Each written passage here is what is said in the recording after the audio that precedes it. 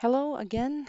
This lecture is focused on applying appropriate sealant adhesive, the first under the common competencies of automotive servicing NC2. So the learning objectives are as follows.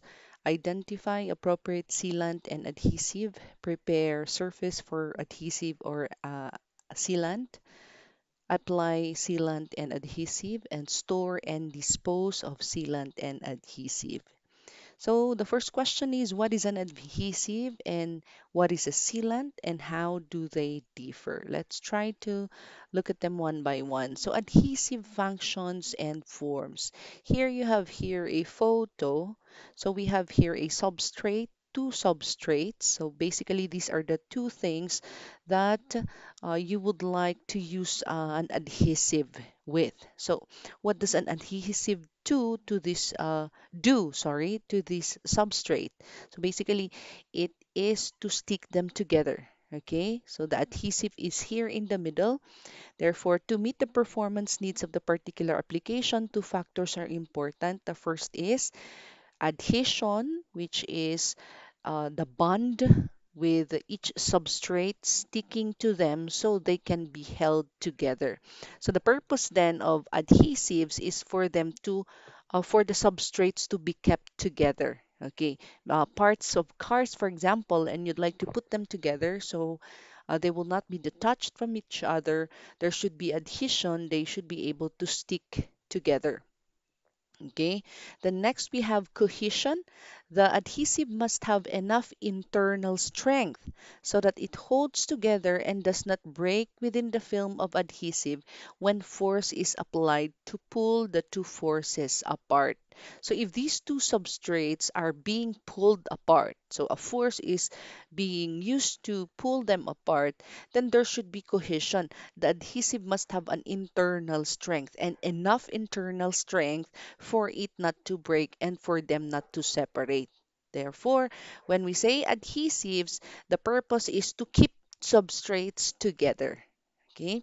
Now, what about sealants? So the functions and forms of a sealant in here in the drawing that you can see here, the sealant is quite a lot wider compared to that of the adhesive because the sealant's uh, job is different. It's not to to stick the substrates together, but then to fill in gaps or spaces. So a sealant is a material designed only to fill up spaces, can be joints, gaps, or cavities that occur between two substrates. If you're going to compare it with your teeth, and there is a space in the middle, but the teeth is still considered good by the dentist, then a filling will be placed there. So that is considered an a sealant. It did not try to keep those two substrates uh, intact because that is the job of the adhesive, but it tried to fill in the empty space. Okay, then continue on sealants uh, functions and forms, we have here some examples. So the space between a bathtub and the wall, then you'd like to um, fill in the gap, then you put a sealant. Then you have there the space between two precast concrete panels forming the wall of a warehouse or the space between the body and the fender of a car. So the sealant is not there to hold the two materials together, as I've said, but it is used only to form the seal against the entry of liquid, first one, second one, gas, and the entry of solid. Because sometimes this can cause destruction or this, this can uh, uh, call for dirt so instead of the dirt sealing these spaces, then we put a sealant so that dirt will not be uh, will not go in. So you, it will be avoiding the entrance of liquids, gases, and solids. Factors for successful performance of a sealant include first, impermeability. So air and water must not go through the sealant. That is impermeability.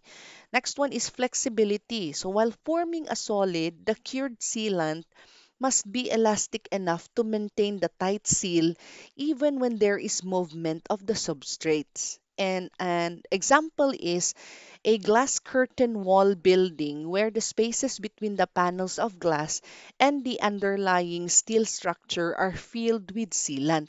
So, uh, the between the glass and the uh, steel there should be a sealant to be placed in, in the middle.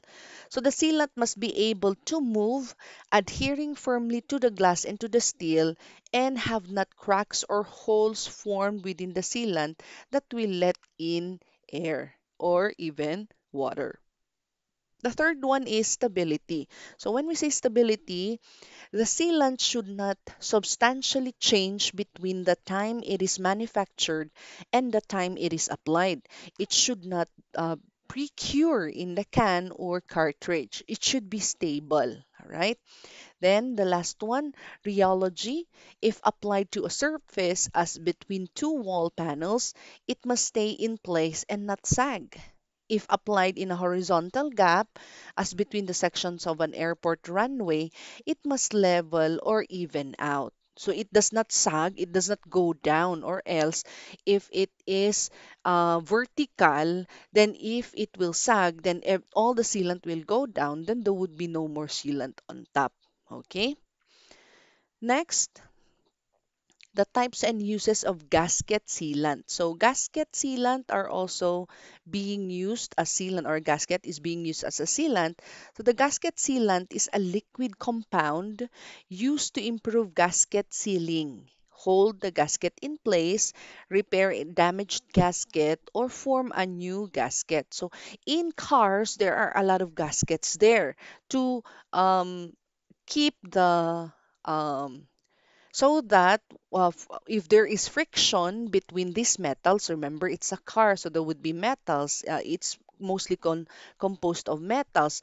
That if they uh, are are having in contact with each other, then the gasket would be very helpful for them not to be destroyed. Okay, so there, that's the use of the gasket. And if the gasket is destroyed, then you put you have to put some sealant to keep it still. These sealants flow into surface irregularities and improve gasket sealing. So there is a wide range of gasket sealants from which to choose from. The sample in here are just a few. We have here some um, brand names, okay? But of course, if you go to the market, there would be more and adhesive sealant and other chemical sealing materials. So we have many gasket sets include a label with the proper chemical recommendation for uh, use with the gasket set. Some even include sealers and sets when the original equipment manufacturer used a sealer to replace a gasket cannot be manufacturers for the application. Okay, so we proceed to the next one. We have chemical thread retainers. So chemical thread retainers can either be aerobic or non-aerobic. Chemical adhesives and sealants give added holding, holding to power and sealing ability where two parts are joints. So sealants usually are added to threads where fluid contact is frequent. Okay, that's why we have here the chemical thread. So chemical thread retainers could be aerobic or non-aerobic, as I mentioned.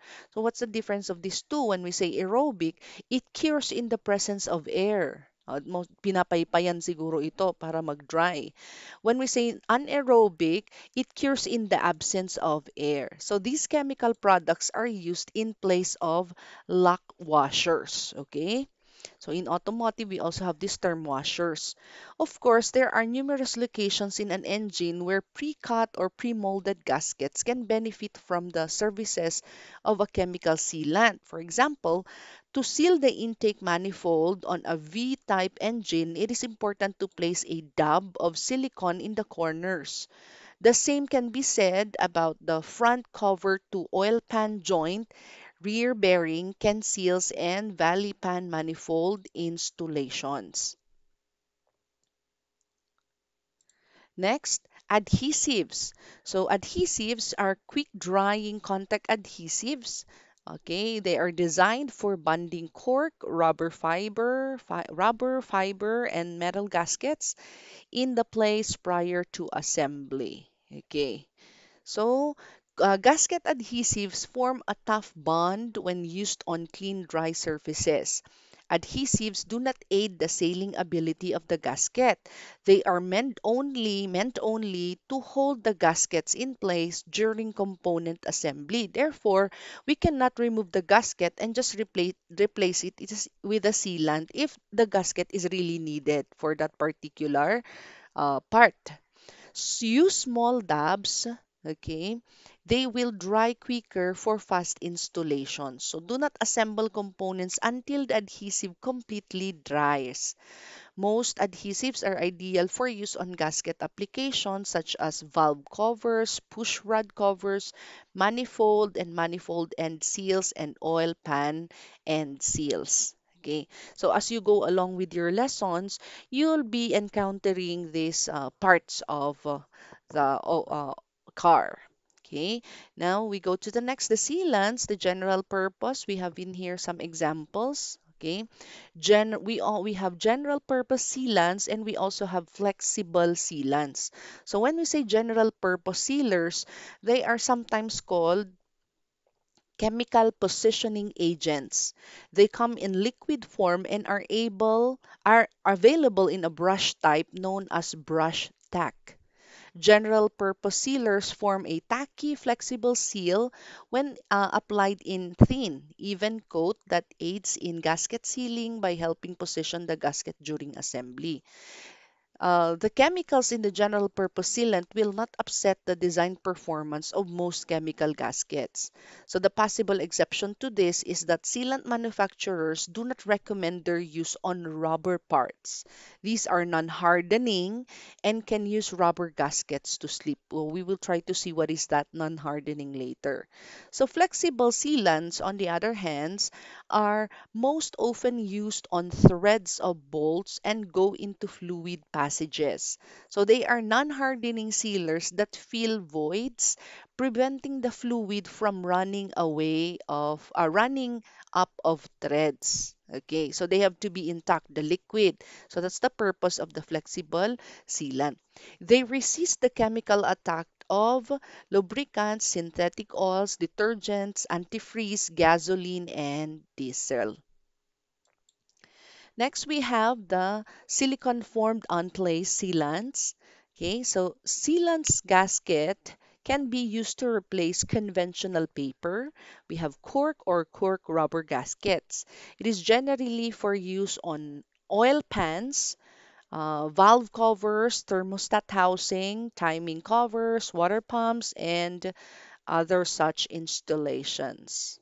That's for the silicon formed and place sealants. Next one, we have the anaerobic formed and place sealants. So never use a sealant or uh, formed in place gasket on exhaust manifolds. The major difference between aerobic and non-aerobic, other than their curing, is also the gap filling ability. So typically, uh, 0.050 inch is the absolute limit of any anaerobic gaps filling materials. Some are only designed to seal point zero zero 0.005 to, to zero 0.10 inch gap Anaerobic sealers are intended to the uh, to the use between the machine services of rigid castings, not on flexible stamping. So once hardened, a good anaerobic bond is unbelievably tenacious and can withstand high temperatures. Therefore, care must be taken in selection. They tend to be highly speci- specialized and more readily interchangeable. For example, there are various levels of thread locking products that range from medium strength anti-vibration agents to high strength weld-like retaining compounds. So the inadvertent use of the wrong product could make future disassembly an impossibility. Therefore, you always have to check the label to be certain that anaerobic material will suit the purpose of the application. Okay, so these of uh, anaerobic formed and placed sealants are used for thread locking as well as gasket. So as a retaining compound, they are mostly used to hold sleeves, bearings, Okay, just like this, what you what you see in the picture, then locking screw nuts in place where there is a high exposure to vibration. Okay, then we also have Hylomar. Hylomar is actually a brand name. Okay, it stands for High Low Martson Mar product. It's neither an RTV or uh, an aerobic. Okay, Hylomar is a combination of uh, polyurethane paste and silica, not silicone, uh, flakes mixed with methylene chloride solvent. So when Hylomar is clamped in a joint, the silica flakes interlock and encapsulate the plastic paste, effectively shielding it from heat, liquids, and contaminants that might otherwise dissolve it. So that's the use of Hylomar. Because Hylomar never hardens or cures, the center remains soft and pliable like an armor plate sponge. So that's the good thing about this one if there is a need for non-curing, then this one is non-curing. As a sealing supplement, Hylomar sticks to virtually any surface, uh, resists all fluids, including gasoline, and has a claimed temperature range of 50 degrees to more than 600 degrees Fahrenheit. Therefore, it can be used to high temperature uh, materials. So, in addition, if a Hylomar coated gasket is set down wrong, it can be peeled off and reseated without damage. And of course, anything that you use uh, wrongly will be destroyed as well. Okay, then we also have the anti-seize compounds. So uh, these prevent the similar metals from reacting with one another and seizing.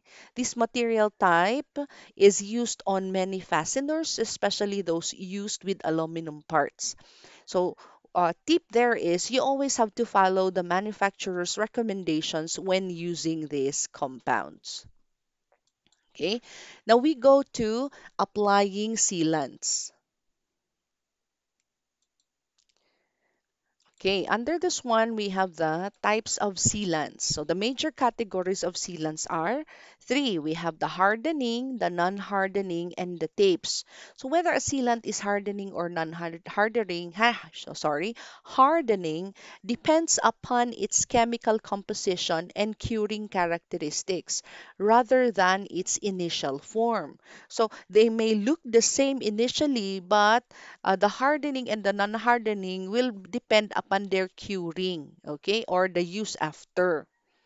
So sealants generally come in non-solid forms in a wide range of viscosities. Some epoxy sealers come in powdered form and must be melted when applied. Certain asphalt-based sealers and waxes are solid and applied by a hot melt system. So thermosetting film adhesives used for sealing also come in tape form and they generally require heat and pressure for cooling. As I've said, again, they may come in the same form or different form, but it doesn't necessarily mean that that is uh, the reason they are hardening or non-hardening or um, tapes.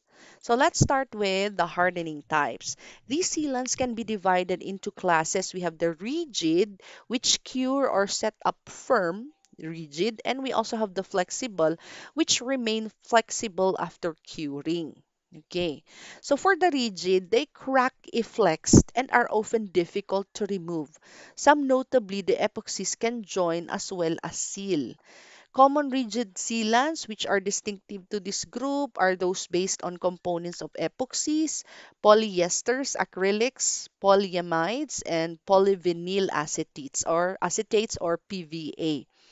Flexible sealants, on the other hand, remain flexible after curing and have elastic bases. So their range of flexibility varies considerably and thus hardness. And as so, so as hardness. Some of these sealants are true rubber. Many have good adhesive qualities and all can be compounded to resist a variety of environmental conditions. So there are some parts of the car that would require you to have these hardening types of sealants.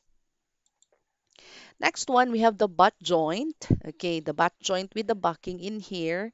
So use sealant if thickness or plate is sufficient or sealed if plates are thin. So tape can also be used. Here you have here the uh, there. If joint moves due to dynamic loads or thermal, thermal expansion and contraction, a flexible sealant with a good uh, adhesion must be used. So select flexible tape for butt joint if movement is anticipated. Okay. Next, we have here uh, lap joint. Okay. So lap joint, uh, there is an overlapping of the two substrates naman. Kaya nga siya lap joint. So it's like a sandwich sealant Okay, between mating surfaces and rivet, bolt, or spot weld seam to secure joint. Oh, by the way, guys, these terms are also being used in uh, welding in the welding industry. Okay, so um, you have to understand na, yeah, uh, yung mga terms na ito ginagamit din doon. Baka narinig nyo na if you have uh, heard some lectures on welding. Okay, then we also have the angle joint. Dito naman may anggulo siya. Titignan nyo may angle. Yan. You'd like to join these two materials in an angled manner. So dito yung angle joint, joint ang tawag. Okay. Then, okay, this was uh, mentioned already. Next, we also have the non-hardening type. So these soft setting sealants stay wet after application and never truly die, dry. Okay, so they generally cannot be depended on to perform a joining function, although some formulations are used as adhesives in low-cost stress joints. So these sealants are characterized by the mastic type pastes usually applied to seams of trowel or brush. Okay? So may may specific din na gamit itong mga non-hardening types pero never nga silang mag-dry. Okay? After curing, walang dryness na mangyayari. You, we also have these tapes, the third one. So tapes are available in a variety of backing and adhesives, usually in pressure-sensitive or solvent-activated adhesive backs. Uh, self-sticking tapes are also made. So these are some non-hardening sealants that are formulated so that they can be packaged in tape form. They are not adhesive backed and can be easily uh, thumbed into place. Okay? May gamit din itong mga tapes. Next, joints for sealants. So joints to which a sealant can be applied depend to a great extent on the type of sealant. For example, a free-flowing sealant cannot be applied to a vertical surface. A non-sagging type must be used. There. Lap joints can be mostly uh, most easily sealed with tape. Field sealed with the thickness of a joint sheets will support a bead of sealant and sandwich sealed. So may mga combination din dito. Sandwich sealing is a common method by structural adhesive where ordinary sealants are used, the sealing material is brushed, extruded, troweled, and thumped on, and the lap joint made and mechanically secured with rivets or bolts and nuts. Ayan. Next, uses of sealants. An inside sealer keeps in a fluid or other medium. An outside sealer keeps out contaminants. Na, tignan niyo yung pagkakaiba nito. An inside sealer keeps in a fluid para hindi mag-leak. Dito naman, an outside sealer keeps out contaminants para walang pumasok na contaminant. So some sealers perform both functions also. Okay, the uses of sealants we have here joining, electrical or thermal insulating, noise reduction, vibration dampening, expansion and contraction control, smoothing and filleting, protective coating, tampering prevention. However, sealants can be used to perform other functions, some of which are almost as important as the primary ro- role of sealing. Okay. Next one, we go to the proper storage and disposal of sealants and adhesives. So the possible ingestion of adhesives and sealants should be avoided. That's why we have to learn how to keep them or store them properly. The possible ingestion of adhesives and sealants should be avoided, and the consumption of storage of food or drink should be prohibited in areas where adhesives are handled or used. All users should thoroughly wash their hands also when handling this one. This is especially uh, prior to smoking, eating, drinking, or going to the toilet. Some adhe- uh, sorry, some adhesive can emit dust or toxic vapors and as such represent an inhalation hazard. So suitable if you wear mask, respirators or adequate ventilation so that uh, you would not be able to inhale any uh, hazardous material. Skin contacts also should be minimized and totally avoided where possible by the use of protective clothing such as gloves and aprons. That's why we always have to use our PPEs. Okay. Next, allergies can also be caused by the uh, if you if you get in contact with these uh, sealants and uh, adhesives. So there is always the possibility of an allergic reaction. You have to be very careful. You have to know your allergies. Next, spillage and waste disposal. So, spillages of any type should be attended to immediately.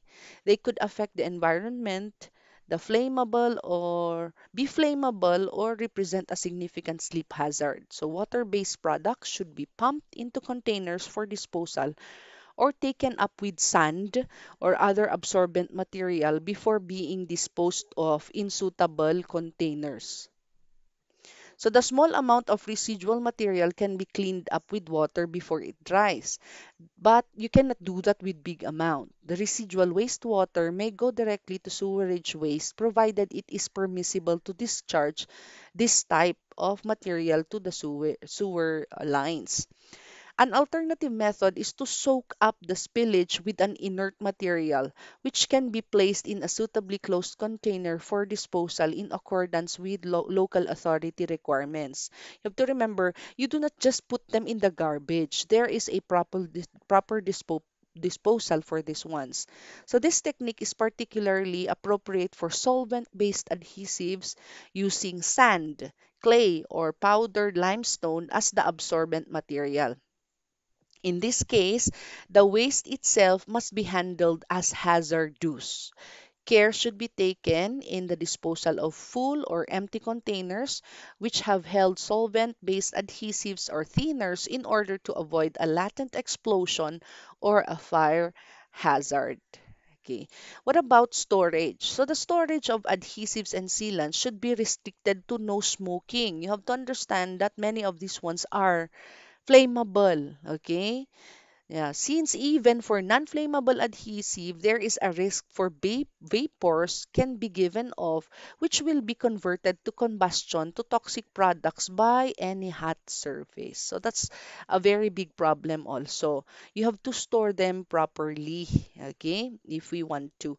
And when we try to store them, we have to label them properly, okay, for uh, for safety to ensure that the useful shelf life of adhesive product is not exceeded strict rotation of stock should be observed and possible safety ha- hazards for aging of avoided. In all cases the manufacturer's instructions and directions printed on the label should be observed. Do not get a lot and store them at home or in the in the uh, shop if you don't need them. I think it would be best if we only have what is needed uh, for a span of time okay? So to avoid to avoid wasting also and also the problem of storage and uh, disposal okay? Then i'd like to end my discussion with this. All right in japan there is a certain kind of art uh, it's the it's the golden repair. They call it the golden repair in their language. They call it kintsugi. So you notice in here, there here is a broken ceramic, but they tried to mend the broken ceramic using gold. So this is supposed to be gold. But nowadays, if gold is not uh, available, then we can use other materials as long as it will become beautiful and artful. So this one is telling us that uh, this can be an adhesive or a sealant. Yeah, the, we could be this one. We could be this broken bowl. So our brokenness can be mended. But um, if we try to see what what could be that mending that is needed for uh, something that is broken aside from the sealants and adhesives if we're talking about our life eugene o'neill said man is born broken so he lives by mending and only the grace of god will be the glue. Thank you very much and i'll see you again in the next video